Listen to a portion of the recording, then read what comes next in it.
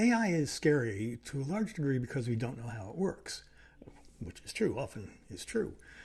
But I don't think we pay enough attention to the last two words in that phrase. We don't know how it works. It works. And the fact that it works tells us something about the nature of the world because machine learning does not work the way that we have tried to know the world. We've looked up to universals and uh, eternal laws and, principles um, as the highest sort of truth that explains everything else.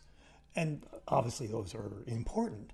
But machine learning doesn't work that way. It doesn't know about laws. It doesn't generally derive laws. It knows about particulars, details gigantic collections of details and intricate relations. And from this, it is able to do the sorts of things that just sort of uh, blow our minds. It doesn't seem possible. And this tells us something about the nature of the world. It tells us that particulars have their own type of truth, a really important type of truth.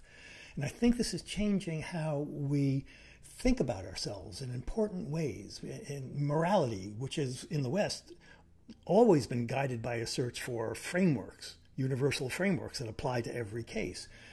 And now we're discovering types of morality that don't do that. I think it's changing our how we think about causality and about free will and about language and creativity and uh, even humor. And that's what I want to explore with you if you'll let me. Thanks.